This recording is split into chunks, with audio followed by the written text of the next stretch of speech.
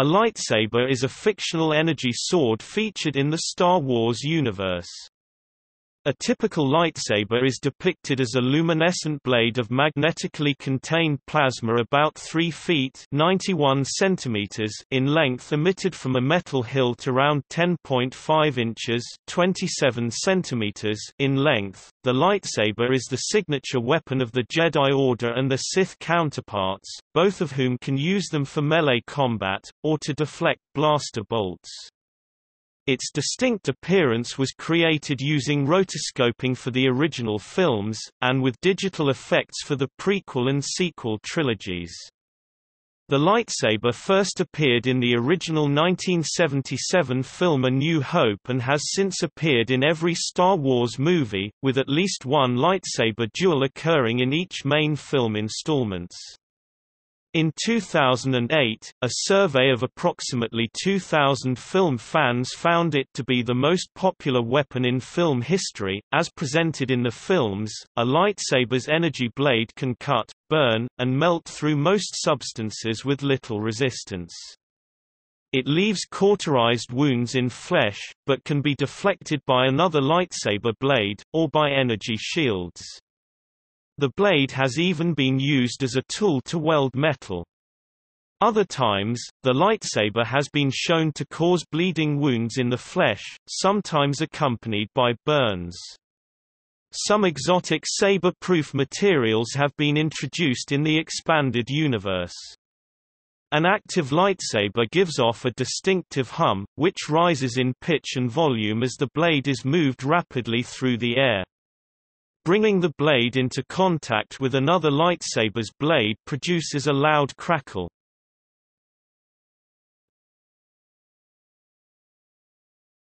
Topic: Conceptual origin. There are several literary precedents in science fiction for a sword of pure energy that can cut through anything, notably, Edmund Hamilton's story Kaldar, World of Antares published 1933 in the April issue of the Magic Carpet magazine. It was reprinted in one of Donald A. Wollheim's well-known and widely read science fiction anthologies, Swordsmen in the Sky, Ace Books 79276, 1964, and thus readily available to the science fiction reader community of the 1960s and 1970s. Fritz Leiber's Gather Darkness 1943, The Priests' Rods of Wrath Energy projections only end where they cut into solid matter, so that a single duel led to numerous casualties of bystanders and charred scores across all nearby walls. Isaac Asimov's Lucky Star series 1952, the force blade is a short shaft of stainless steel, which can project a force field that can cut through anything, making it the most vicious weapon in the galaxy. Asimov's force blade expands on his earlier invention of a penknife with a force field blade, first used in his Foundation novel 1951. Gordon R. Dickson's Wolfling 1969, The Rod, something in appearance like a cross between the flame of a welding torch and the arc of a static electricity charge crackled from the end of the rod, even as it burst from the end of the rod. The discharge from Galleon's rod met the discharge from Slothiel's head-on, and the two lines of white fire splashed harmlessly into an aurora of sparks. In a 1977 interview, Lucas stated, as a kid, I read a lot of science fiction, I was interested in Harry Harrison, and this issue of Analog ends a Harry Harrison story on the back of the page with a drawing of this duel. Larry Niven's Ringworld 1970, Louis Wu uses his flashlight laser as a sword of indefinite length. Ringworld also features a variable sword consisting of a handle containing a spool of invisibly thin, molecule-thick wire. In use the wire is unspooled to the desired length and made rigid by a stasis field. Some depictions show the field glowing. M. John Harrison's The Pastel City 1971, the energy baan are used by the Methven, an order of knights sworn to protect their empire.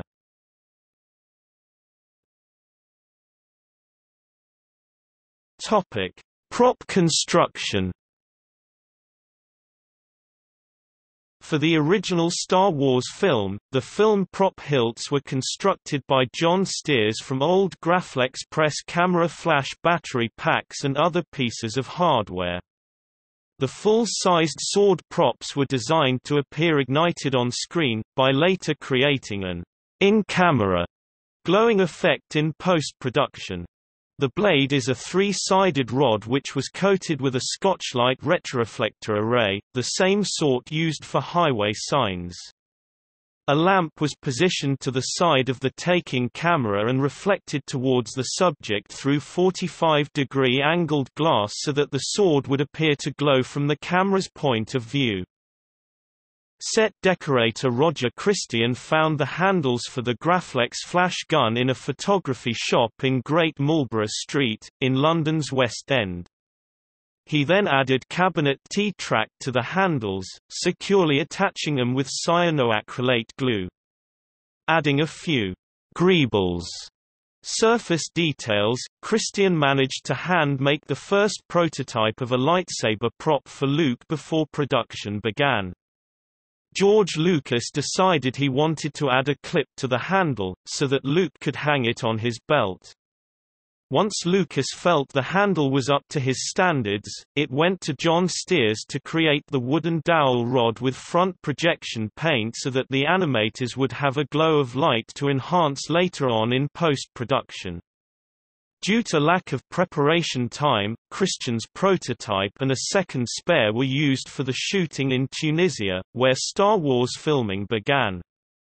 It was discovered, however, that the glowing effect was greatly dependent on the rod's orientation to the camera, and during the Obi-Wan Kenobi, Darth Vader duel, they could clearly be seen as rods. Because of this, the glow would be added in post-production through rotoscoping, which also allowed for diffusion to be employed to enhance the glow.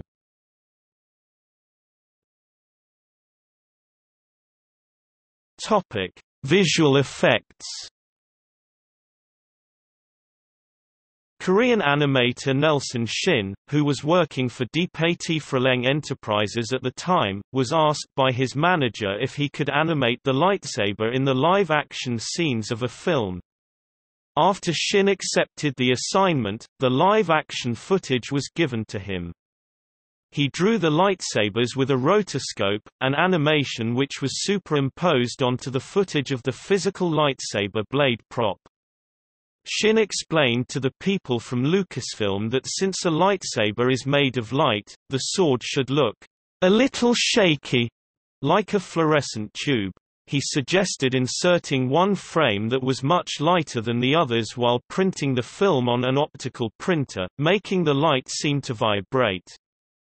Shin also recommended adding a degausser sound on top of the other sounds for the weapon since the sound would be reminiscent of a magnetic field.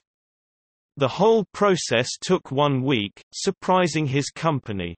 Lucasfilm showed Shin the finished product, having followed his suggestions to use an X-Acto knife to give the lightsaber a very sharp look, and to have sound accompany the weapon's movements.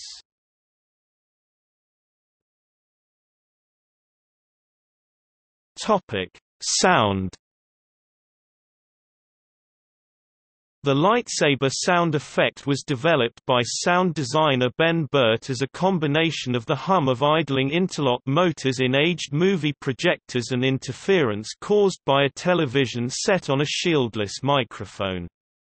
Burtt discovered the latter accidentally as he was looking for a buzzing, sparking sound to add to the projector motor hum. The pitch changes of lightsaber movement were produced by playing the basic lightsaber tone on a loudspeaker and recording it on a moving microphone, generating Doppler shift to mimic a moving sound source.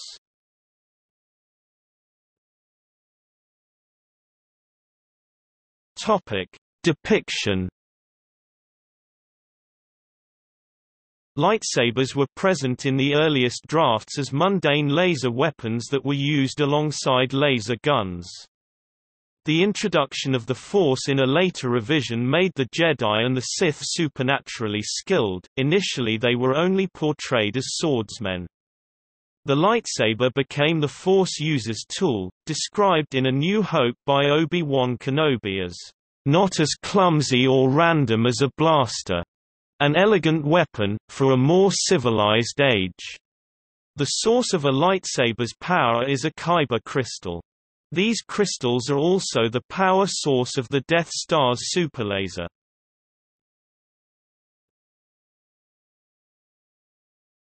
Topic: Types. Lightsabers are depicted as hand-built as part of a Jedi's or Sith's training regimen. Each lightsaber is unique, though some may bear resemblance to others, especially if there is a connection between the builders. The first film appearance of the dual-bladed lightsaber introduced in Tales of the Jedi was in The Phantom Menace, wielded by Darth Maul. The video game The Force Unleashed introduced two other variants, a lightsaber pike a lightsaber with a shorter blade but a long handle, resembling a spear and a Tonfa-style lightsaber with right-angle hilt. The Star Wars Expanded Universe adds several lightsaber types, including short and dual-phase adjustable length weapons. In Star Wars Rebels, Ezra Bridger's original lightsaber is a hybrid that features a fully functional blaster pistol built into the handle. Kylo Ren, from The Force Awakens, uses a lightsaber that features two crosshilt blades, giving it the appearance of a greatsword.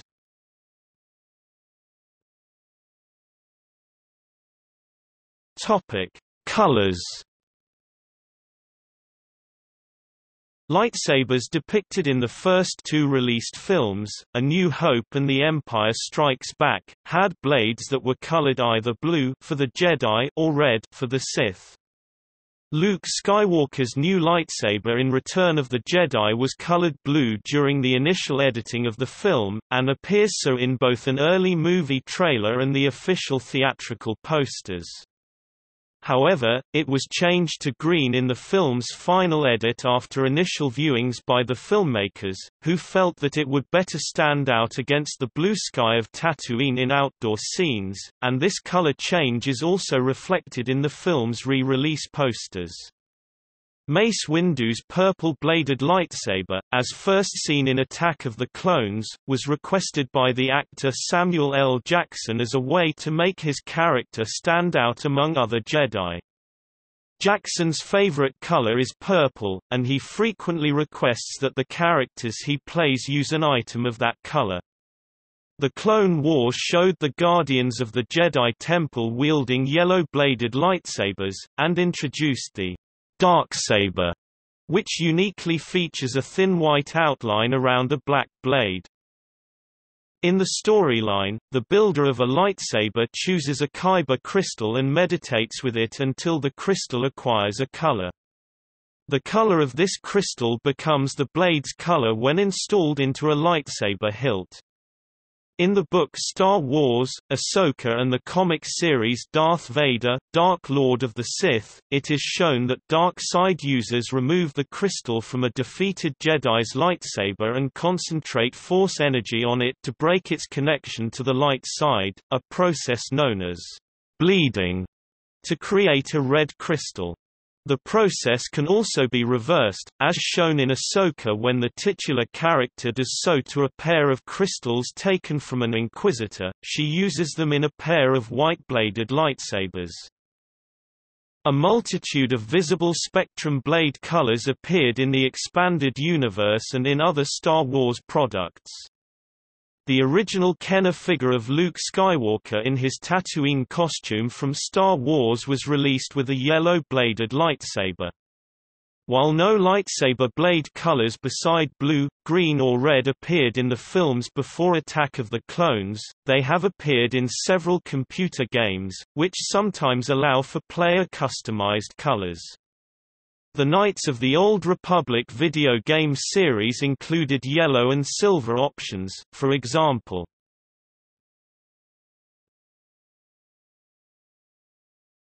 Topic: Choreography The technical lightsaber choreography for the original Star Wars trilogy was developed by Hollywood sword master Bob Anderson. Anderson personally trained Mark Hamill Luke Skywalker and, in The Empire Strikes Back and Return of the Jedi, performed all the stunts as Darth Vader during the lightsaber duels wearing Vader's costume. Anderson's role in the trilogy was highlighted in the film Reclaiming the Blade where he shared his experiences as a fencer developing the lightsaber techniques for the three original movies. The lightsaber duels in the Star Wars prequel trilogy were specifically choreographed by stunt coordinator Nick Gillard to be miniature stories. For these films, Gillard was the primary sword instructor for Liam Neeson, Qui-Gon Jinn, Ewan McGregor, Obi-Wan Kenobi, Ray Park, Darth Maul, and Hayden Christensen, Anakin Skywalker, Darth Vader, among other actors. His goal in choreographing the action for The Phantom Menace was to create stunts that flow from the story. You can't just think, I'm a stunt coordinator, I'm going to make a big stunt happen. Gillard said, It's all about making it tie in nicely with the film so that you don't notice the stunts. In writing the prequel trilogy, George Lucas said he wanted the lightsaber combat to be reminiscent of what had been done in the previous films but also something that was more energized. We'd seen old men, young boys, and characters who were half-droid, but we'd never seen a Jedi in his prime. I wanted to do that with a fight that was faster and more dynamic, and we were able to pull that off. According to Gillard, who would later go on to perform a cameo role in Revenge of the Sith, various lightsaber combat styles were devised for the prequels and intended to further characterize their practitioners. I developed different styles for the characters, and gave each of them a flaw or a bonus. So with Obi-Wan Kenobi, for instance, he's got a very business-like style. When he was younger he could border on the flashy and might twirl his lightsaber a bit, because he was taught by Qui-Gon. Qui-Gon was brash, that rubbed off on Obi-Wan and Obi-Wan then taught Anakin, who was way too old to learn anyway. I think the style really worked well. The Jedi style of fighting is an amalgamation of all the great swordfighting styles. Melding them together is the difficult part. To move from a kendo style to, say, rapier requires a complete change in body and feet movement, and this must look effortless. The style moves seamlessly between the different disciplines, but remains technically correct throughout. For The Phantom Menace, Gillard set out certain styles and faults for the saber-wielding characters. He added that the Jedi's use of such a short-range weapon meant they would have to be very good at it, combining a variety of disciplines from various sword fighting styles to martial arts, with a touch of tennis and tree chopping. He created the style seen in the Episode 1 lightsaber battles. For The Force Awakens, director J.J. Abrams decided to approach the choreography similarly to how it was done in the original trilogy. Abrams stated that the prequel trilogy choreography was increasingly spectacular and stylized, almost like dance choreography. But that was not what they really wanted to go for the new films. He told Empire magazine, when you look at Star Wars and Empire, they are very different lightsaber battles, but for me they felt more powerful because they were not quite as slick.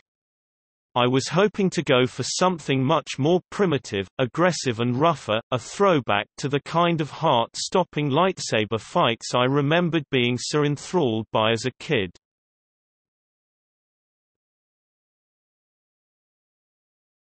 Topic: Cultural impact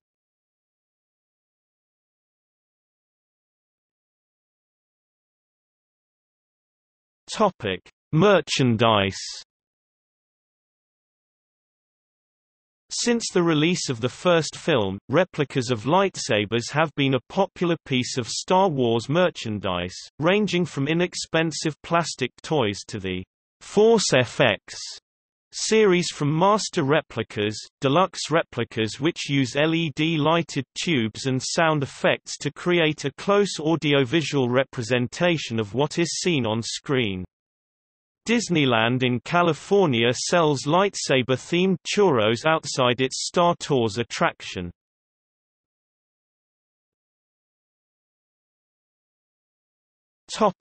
Attractions The Jedi Training, Trials of the Temple is a live show where children are selected to learn the teachings of the Jedi Knights, the Force, and the basics of lightsaber combat to become Padawan learners. The show is present at the Rebels stage at Disney's Hollywood Studios and at the Tomorrowland Terrace at Disneyland.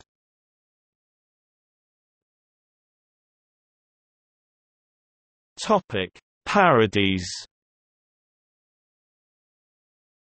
In the Spaceballs film by Mel Brooks, The Schwartz is a play on The Force from Star Wars.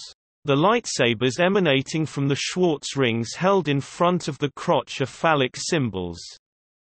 The cartoon series Futurama features many lightsaber-style weapons, notably expanding batons used by police.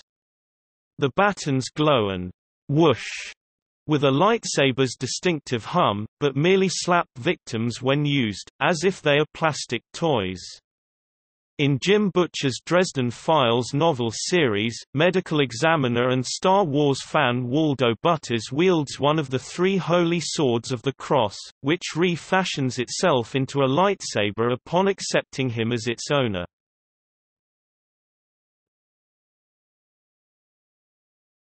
Topic: Games With the advent of motion-controlled video games, the opportunity to physically wield a lightsaber in a video game became a reality. In the seventh generation of video game consoles, there were several Star Wars video games available on the Wii Lego Star Wars, The Complete Saga, Star Wars, The Force Unleashed, Star Wars, The Clone Wars, Lightsaber Duels, Star Wars, The Clone Wars, Republic Heroes and Lego Star Wars 3, The Clone Wars and one on the Xbox 360, Kinect Star Wars that utilized motion controls to wield wield a lightsaber through arm gestures. Unleashed and Duels, both developed by Krome Studios, have more precise control of the lightsaber, allowing players to swing it in any of five different directions up, down, left, right or forward with the Wii Remote, while Kinect takes advantage of the eponymous, camera-based motion controller to grant the player a more fluid, one-to-one -one control method of swinging the lightsaber. Prior to the seventh generation, there were also a few earlier Star Wars games that used gesture-based control to simulate lightsaber combat, such as the two bonus levels of the arcade game Star Wars Trilogy, where the player controls Luke Skywalker as he wields his lightsaber against Boba Fett and Darth Vader in Return of the Jedi by pushing a joystick in one of eight directions to follow on-screen offensive and defensive cues, and a TV game game released around the release of Revenge of the Sith, titled Star Wars, Saga Edition, Lightsaber Battle Game, in which the player swings a lightsaber-shaped controller to deflect blaster bolts from infantry such as battle droids and clone troopers and duel against characters from across the saga. By the time Disney purchased Lucasfilm, new technological advances made augmented reality possible, leading to the creation of some more notable motion-controlled lightsaber video games that took advantage of that feature. One of them came in the form of a special activity mode in the official Star Wars fan app on iOS and Android in which players use their smartphone's motion sensors to practice and master blaster deflection with a training droid which appears on the phone's rear camera, similar to the deflection training exercises featured aboard the Millennium Falcon in A New Hope, while progressing through the ranks of the Jedi or Sith Order. Another is in Star Wars, Jedi Challengers, which works with a Lenovo Mirage R headset, a tracking sensor and a dedicated lightsaber controller that launched in December 2017. One of the multiple game modes available in Challengers, which was jointly developed by Disney and Lenovo, enables players to confront Star Wars villains in lightsaber duels, such as Darth Maul and Kylo Ren.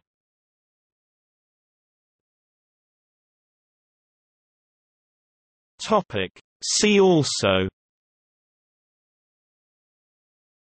List of Star Wars weapons.